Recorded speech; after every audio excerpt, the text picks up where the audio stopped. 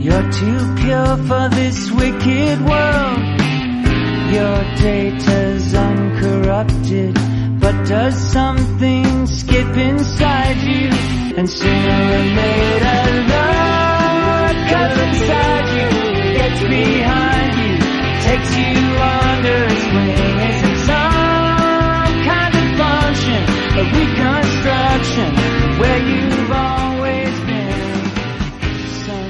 memory that's so